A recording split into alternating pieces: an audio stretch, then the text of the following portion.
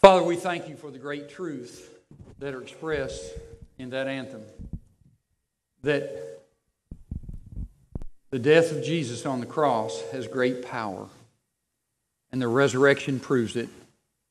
I pray that you will prove that in us today, and that we will embrace that truth, that your power might be employed in our life. I pray that for every one of us in this room today, that the benefits of Jesus' death and resurrection will be realized and that not one drop of Jesus' blood will be wasted on us. Amen.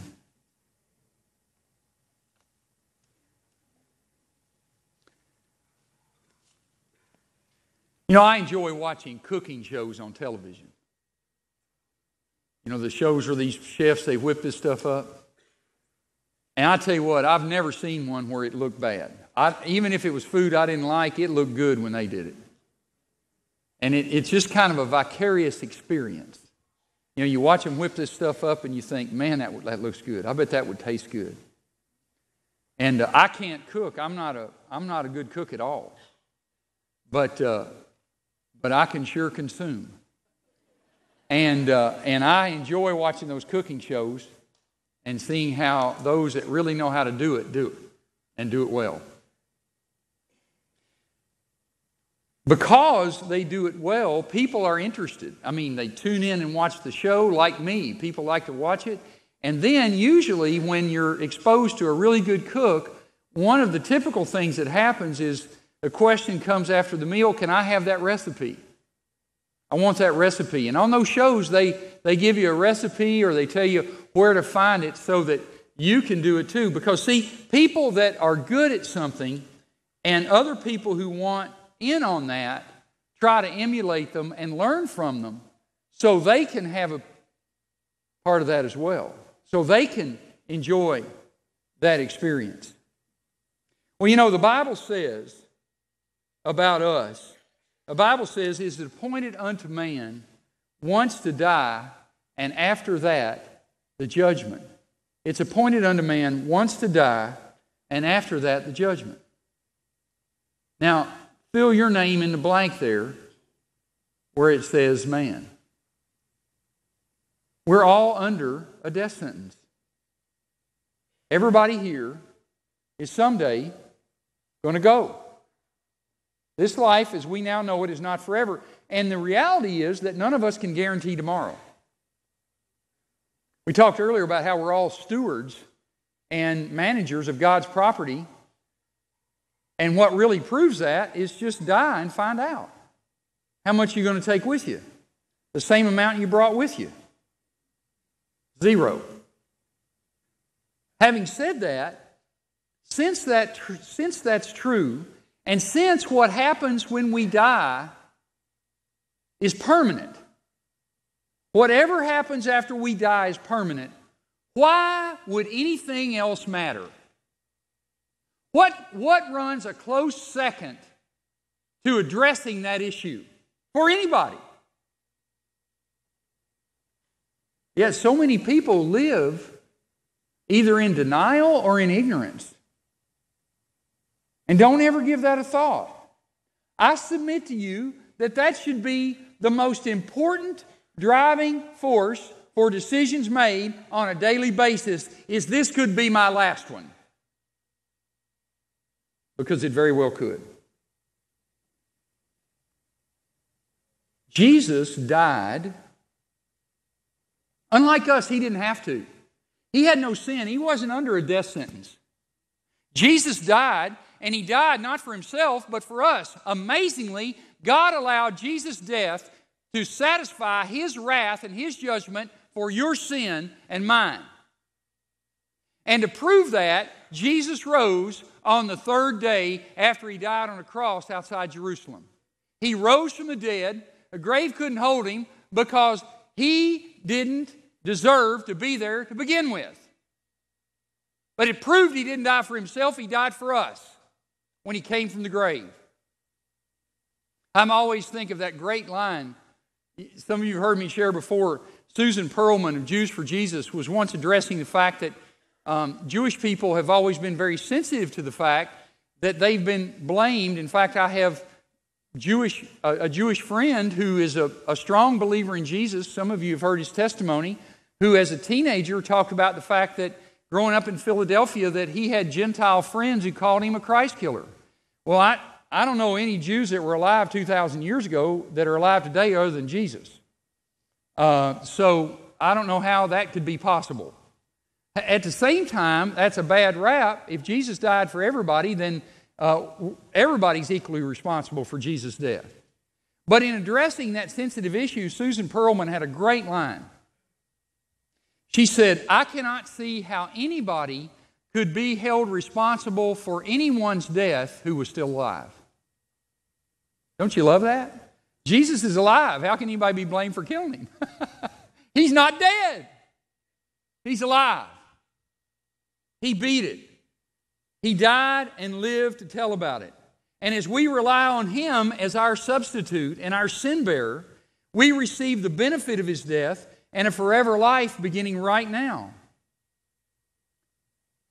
Jesus said, I am He who lives and was dead, and behold, I'm alive forevermore. You see, Jesus isn't bragging, He's just stating facts. He died, lived to tell about it. He knows what it's like to die. And he knows what it's like to live again because he did it. I would submit to you that Jesus is the resident expert on dying and living. And Jesus has the only recipe for dying and living to tell about it. And this is his cookbook right here. And the recipe for life is in this book. It's Jesus' recipe. And I would submit that we need to look at this recipe. Why? Because Jesus made another promise in connection with this issue. He said, as he stood by the tomb of his friend Lazarus, he said, I am the resurrection and the life. He who believes in me will live even though he dies. And listen to this whoever lives and believes in me will never die. That's what Jesus said. Now, that's an audacious promise. But he proved that it wasn't just hot air or braggadocio because he not only called Lazarus back from the dead, but he called himself back from the dead when he died. He has the power to deliver. And notice he says that not only is he have the power to rise again, he is willing to share that ability with us. Whoever believes in me will live even though he dies. And whoever lives and believes in me will never die because eternal life will start right now. I want that. How about you? I want that. How can we receive the victory that Jesus wants to give us? The victory over the sin and the judgment that we're under and the death that's the result. Well, I think we can answer that question of how to receive that victory by looking this morning at how Jesus lived, and we can see most poignantly how he lived by watching how he died. And in that, we can discover who he is and what he's like and what we can rely on as we seek him to share in his victory over death. Now, nowhere do we see this reality more powerfully demonstrated than in Jesus' death on the cross. I'd like for you to stand with me if you would, and let's read responsively from Luke 23 32 to 46. Luke 23 32 to 46. There were also two others, criminals, led with him to be put to death.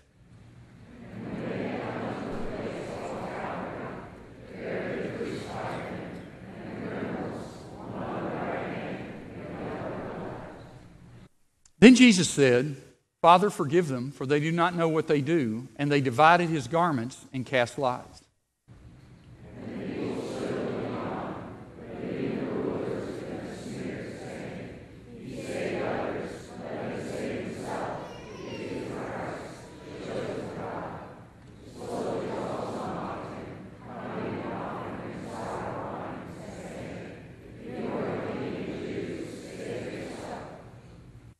And an inscription also was written over him in letters of Greek, Latin, and Hebrew This is the King of the Jews.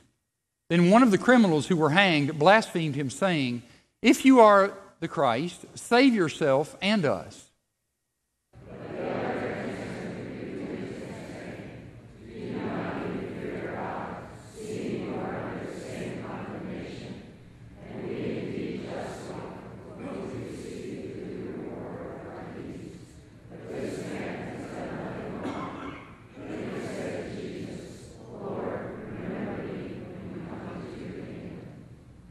And Jesus said to him, Assuredly I say to you, today you will be with me in paradise.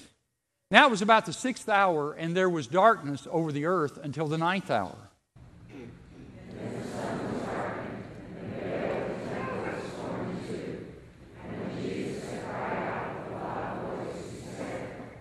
Father, into your hands I commit my spirit. Having said this, he breathed his last. Amen. You may be seated.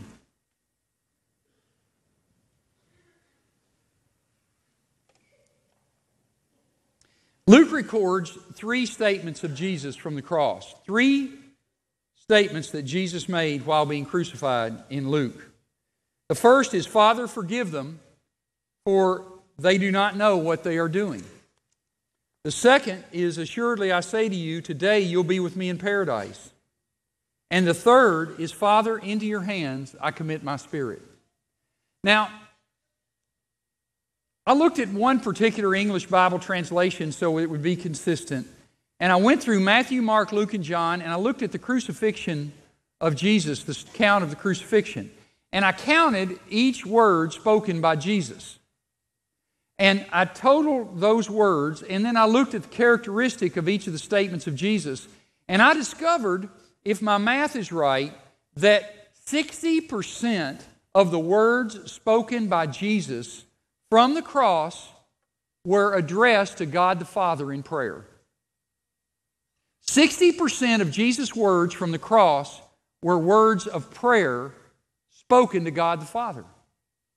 You see, that shouldn't be surprising because Jesus was more than anything a man of prayer and so, even as he died, he was a man of prayer more than anything. In fact, a good number of those prayers were not, quote, original in the sense that he just thought of them. A good number of them were actually quotes of prayers found in the book of Psalms that Jesus was just re praying back to the Father as he comforted himself. I want to tell you something. You want to learn a great truth as to how to enjoy the peace of God and the power and the presence of God? You want how to know the comfort of God? You take the Word of God back to God in praise to prayer before Him, and particularly the Psalms. The Psalms are the key, the best medicine I know to avoid discouragement and depression. You pray the Psalms out loud to yourself. It's important for your own soul to hear you talking and speaking the Word of God to yourself. Pray them out loud.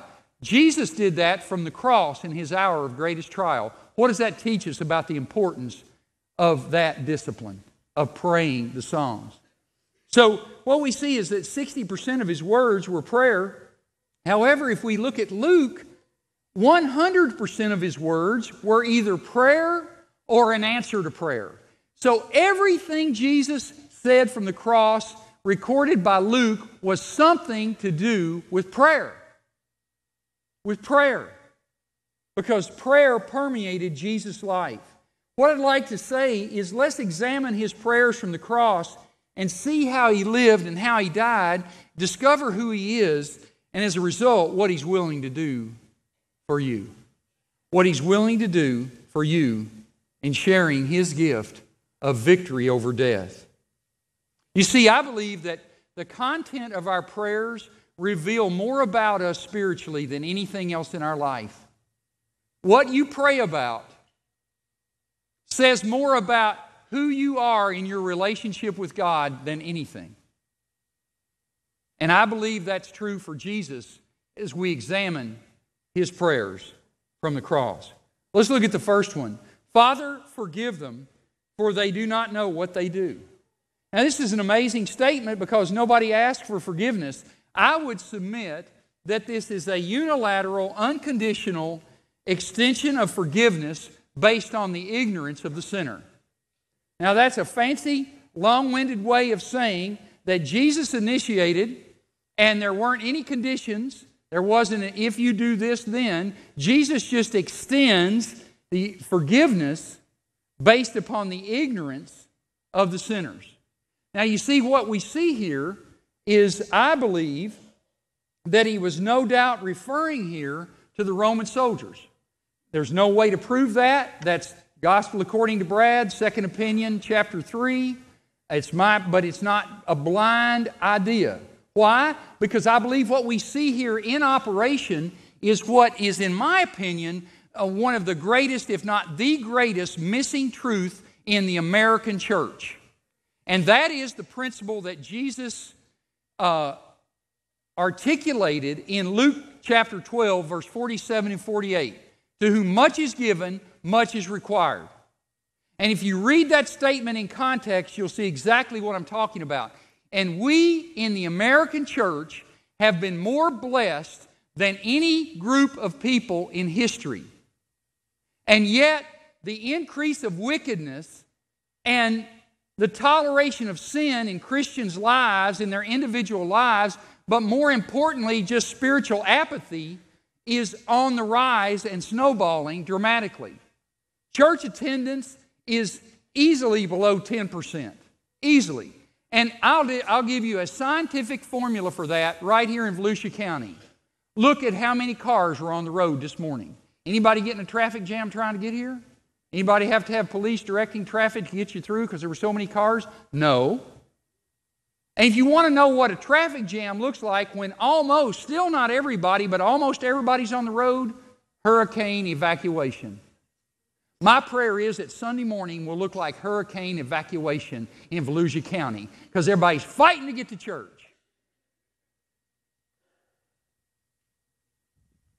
And we take for granted and we act as if we're doing God a favor by coming to church or doing something that's related to being a Christian.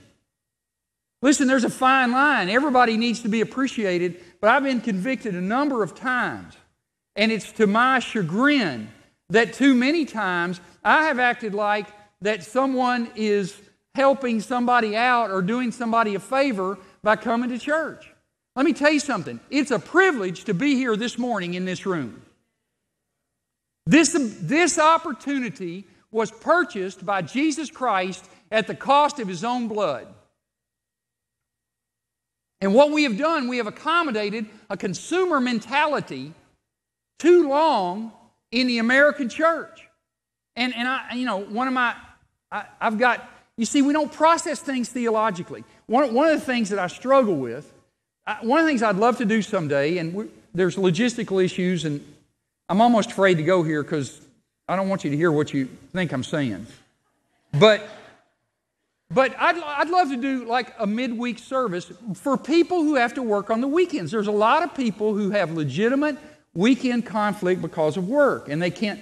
I'd love to do that. But my struggle is I don't want to do that to accommodate somebody's recreational plan. Why? Because there's a reason we meet on Sunday. When the early Christians for 300 years met to worship, Sunday was not a holiday. It was a regular work day, and they had to accommodate around their work schedule and other obligations to worship on Sunday. They intentionally gathered on Sunday. Why? Because it was the day Jesus rose from the dead.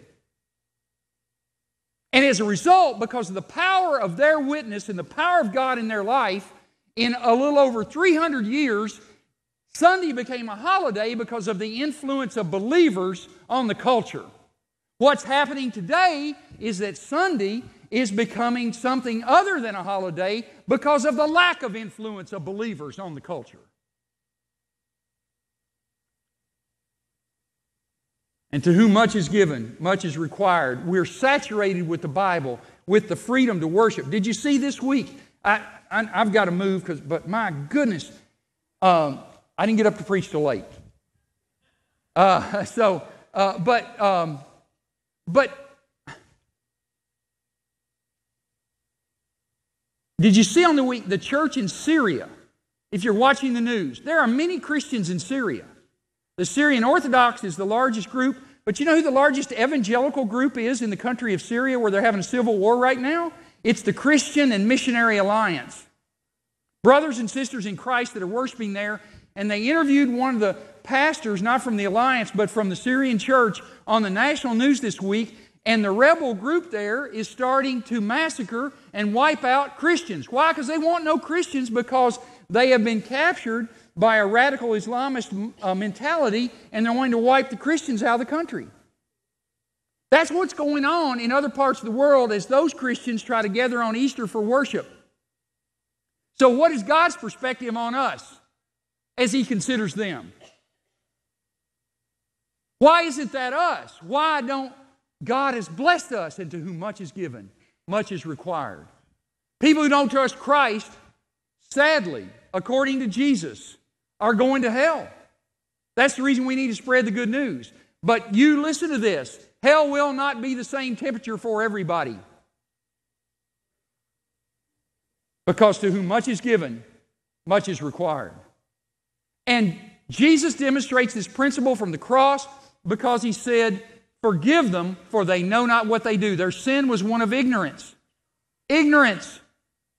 And if you look back in the Old Testament, you find in Leviticus and in Numbers in the sacrificial system of the Hebrews, where the tabernacle, the temple, where they slaughtered the animals, there was no sacrifice for willful sin except thievery, in which a 20% restitution for thievery was in, included. Now, if someone sinned willfully, that means premeditated. In our language today, they were executed. So, God treated sins of ignorance differently than sins of knowledge. And our degree of culpability is directly proportional to what we know. Moses murdered somebody and didn't get any repercussions except run out of Egypt. But after he had a face to face meeting with God, he got mad and hit a rock with a stick, and God said, You can't go in the promised land. Why? Because he knew more. He should have known better.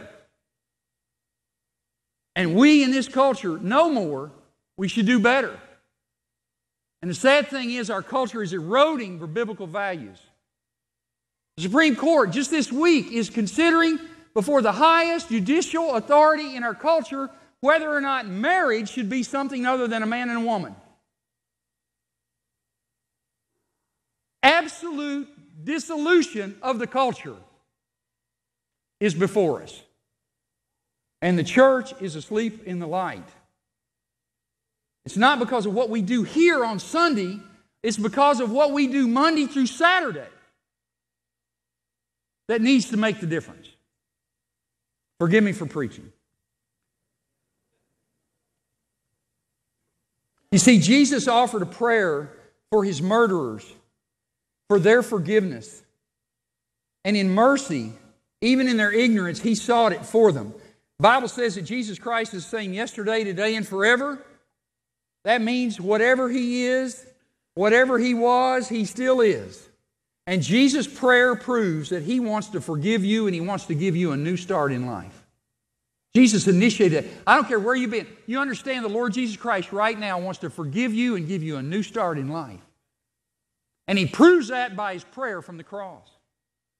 And then we see the second answer to prayer when he says to the repentant thief, Assuredly I say to you, today you'll be with me in paradise. Only does Jesus proves that he wants to forgive you and give you a new start in life, he also says to the thief, Today you'll be with me in paradise. Notice the context. The thief confessed and was truly repentant. He truly was disgusted with his sin and he was honest with himself and with Jesus and with the other thief about who he was. And notice how Jesus responded to that. How did Jesus respond to that? Jesus responded by offering forgiveness. You see, one of the huge blunders that we make is we confuse true repentance and confession with a sense of entitlement that leads to presumption. God is not obligated to forgive anybody. God is not obligated to forgive anybody. It is a gift offered by His grace. But yet, so many times, we miss on that because we don't imitate the thief. The thief was basically saying, Lord, I recognize I deserve to go to hell. Confession means to agree with. The Greek word behind the English word confess is homologeo. Homo meaning one or same. Lego means to speak. Put them together to speak the same thing, to agree with. We agree with God. I heard some people say tragically, well, if I sin, I know God will forgive me. So I'll just go ahead, you know, I know this is sin. But listen, that person's not repentant. Don't presume upon that. Don't be presumptuous about that. Faith and presumption are not the same thing. Just recently knew of some college students who go to a Christian college, and there were some kids kicked out for drug use and immoral behavior. And some of the classmates were heard saying, Well, I thought this was a Christian college. Don't they forgive? There was no repentance. There was only arrogance about the sin. The thief on the cross was humble, he was repentant and acknowledged Jesus. And Jesus didn't just answer. Don't you? His question was, remember when you come into your kingdom? Jesus said, Today. That you see, when we come to the Lord on His terms with a humble heart, we get more than we ask for. Better. Better.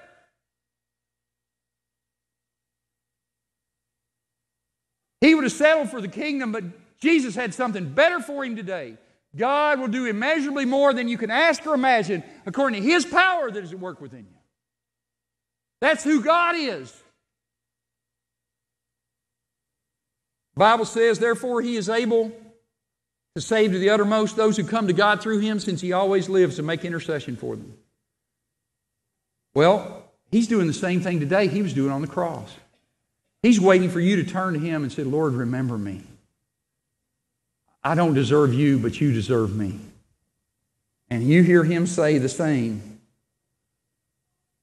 Today you'll be with me in paradise. Today you're going to receive eternal life through me. You see, when we come to Jesus in true humility, regretfully acknowledging the truth about ourselves and gratefully acknowledging the truth about Him, listen to this. He loves to forgive our sins. He loves to give us eternal life. That's who Jesus is. He proves it from the cross.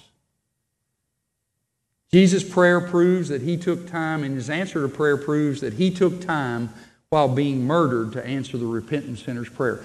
He was in the process of being murdered. Listen, that's happening to me. I'm saying to the guy, don't bother me. I'm busy. I'm real busy. Jesus took time while being murdered to forgive that repentant man's sin. You think he's got time for you today, sitting at the right hand of the Father in glory? I think he does. I think he's waiting for you to turn to him. Well, the third thing Jesus says is his last prayer. He says, Father, into your hands I commit my spirit. This is not one of those that isn't original. This is a quote from Psalm 31, verse 5. Write that down, Psalm 31. I want you this afternoon to go home and read that whole psalm. The whole psalm is a prayer. In Hebrew, part represents the whole. In the Hebrew mind, Jesus was thinking of this whole prayer on the cross. This was his prayer. You read that and see how amazing that prayer is in the context of Jesus being crucified. Father, into your hands I commit my spirit. And having said this, he breathes his last. Now, there's a fascinating insight from John 10, 17 and 18. Let's read that together out loud. John 10, 17 and 18. Therefore, my Father loves me because I lay down my life that I may take it again. No one takes it from me, but I lay it down of myself. I have power to lay it down, I have the power to take it again. This command I have received from my Father.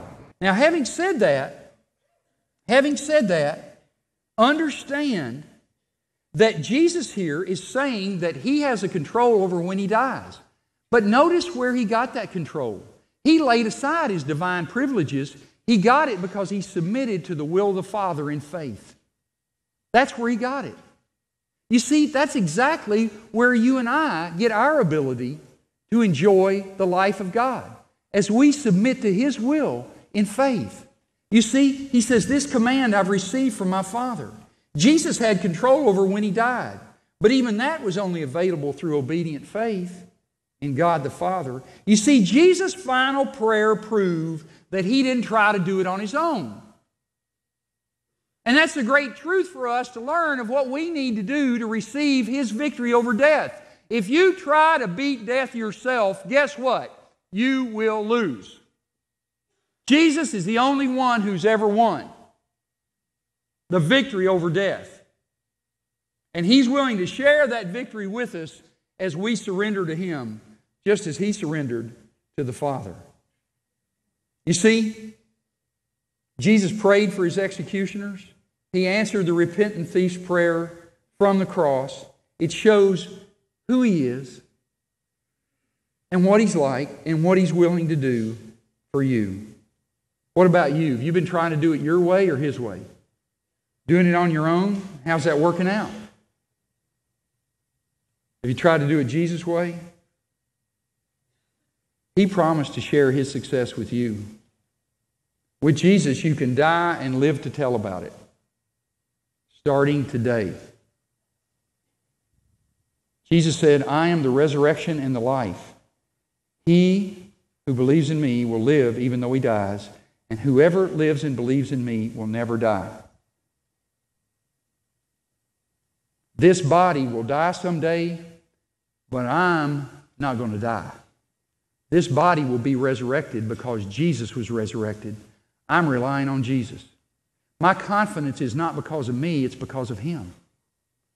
Somebody said, Well, how can you say you're going to heaven? I said, Well, I don't want to call Jesus Christ a liar. If I say I'm not going to heaven, I'm calling Jesus Christ a liar. Because He said, if I rely on Him, that I'll never die. I'm completely confident in what Jesus did, not what I've done. I want you to know that reality. You know, there's a commercial out that's been controversial. Um, I think we've got it on the screen. Who, who's this guy in the commercial? Uh, I, if you've been in an alternate universe for the last 20 years, if you don't know who that is, that's Tiger Woods. That's a Nike commercial, right? And what's it say on there? Winning takes care of everything. Now, why is that commercial controversial? Well, it's controversial because uh, Tiger Woods, a few years ago, uh, it was revealed that he was a serial adulterer. Serial adulterer who tragically saw the dissolution of his marriage and his family, and his career was basically put on hold. But now it appears that after some time, that he's finally back in the groove and back to his old ways on the golf course and is winning and is number one in the world again. And the Nike people, who are his biggest sponsors, took an ad out and said, Winning takes care of everything. It's controversial because a lot of people are saying, Wait a minute, wait a minute. That sends the wrong message. I'm glad there's some pushback. But you see, the truth is, winning may take care of his public image and his image as the most famous golfer. I was down at the tournament in Orlando a week or so ago, a couple weeks ago. I didn't see him up close, but I saw his entourage. You couldn't even get close. There were thousands of people on whatever hole he was on. I was out there by myself with some other golfer, me and him, just having a good time. And uh, everybody was watching Tiger Woods because his image is back. But I don't care how many golf tournaments he wins. Listen to this. It will not cover his sin. Only the blood of Jesus covers sin. So what we've done, we've put we've taken a cue from the Nike commercial, and here's the real story. There's an empty tomb.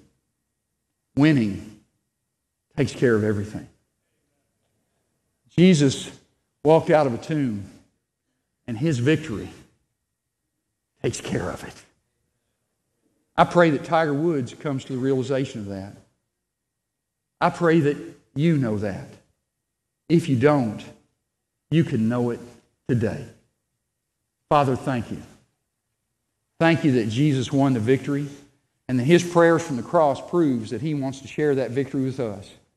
That he made that promise in front of Lazarus' tomb that whoever believes in him would live even though they died and would never die if they lived and believed in him. And he showed that he's willing to share that victory that he secured at the cross and confirmed in the tomb with us. I pray that everybody here knows the victory that only Jesus gives. Amen.